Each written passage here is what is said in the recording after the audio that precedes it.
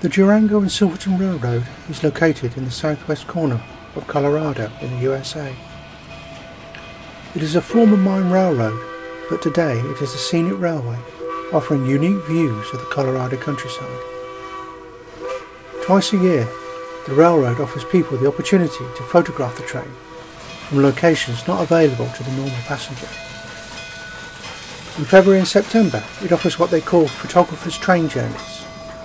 On these trips, passengers have the opportunity to disembark at specially selected locations and photograph or film the train as it performs several run-bys.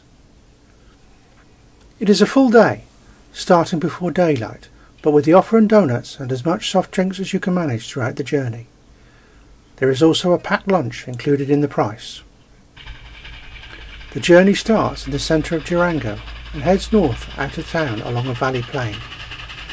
Soon, however, the gradient increases as it heads up the Animas Valley.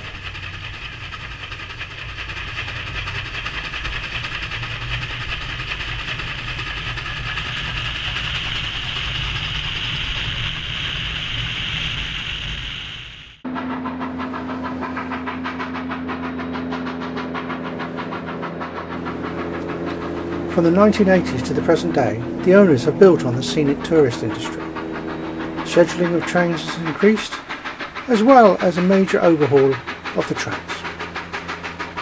Today, the railroad provides a year-round train service operating historical carriages and rolling stock. All the trains are 100% coal-fired, steam operated.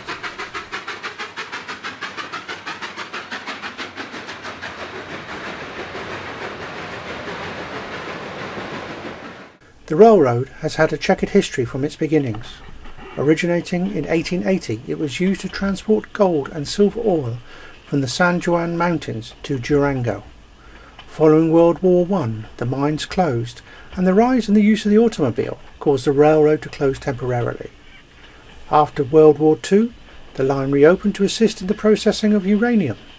Subsequent to that, it was often used as a backdrop to many films.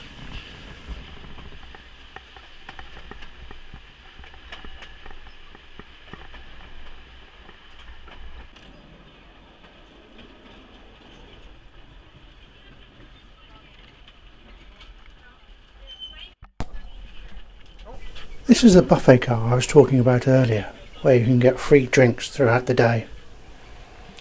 You can also walk through the train freely, standing between carriages, leaning out the windows, and there are even a couple of gondola cars where there are no windows, so you can lean right out and get a panoramic view. For the photographer's trains, though, you have to sign your life away with a disclaimer form before you travel.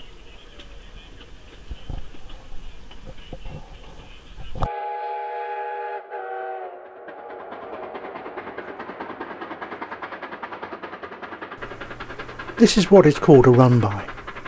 We all disembark from the train, the train reverses, and then comes forward so we can all get the pictures we want. It does this two or three times at each location, so there is plenty of chance to get a good image.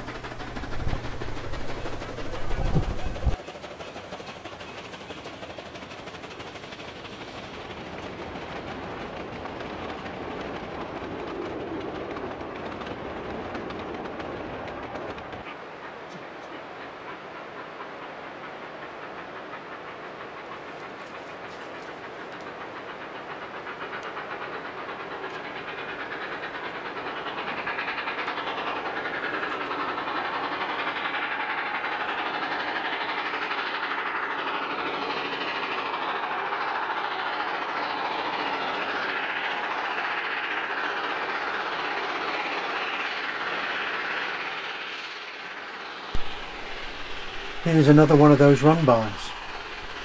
Unfortunately, I can't get everybody out of the picture. You can probably see the pink tape in some of the shots where people are asked to stand behind. But even so, it doesn't prevent people getting in the way.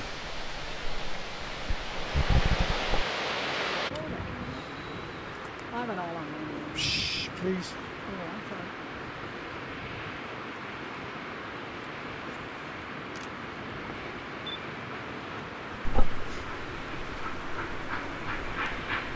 Did you hear somebody say quiet please? That was me.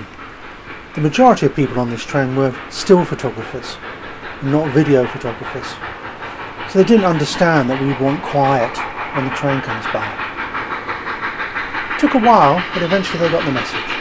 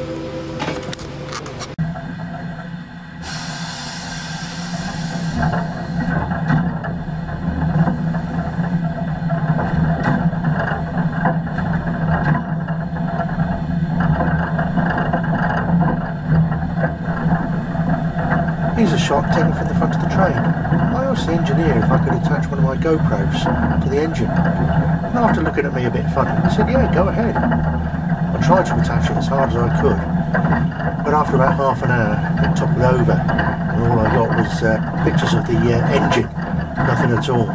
But for the first few minutes, I did get quite a good shot.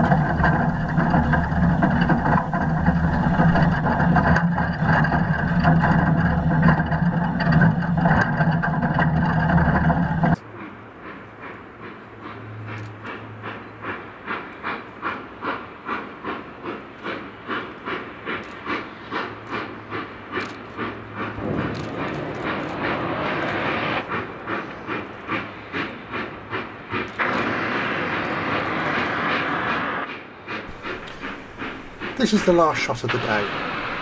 As you can see, it's very picturesque. It's a place called the High Line. This is the last place we do a run by. We had to make sure we got out on the correct side of the train as we're getting out on the wrong side, a couple of hundred feet down into the canyon.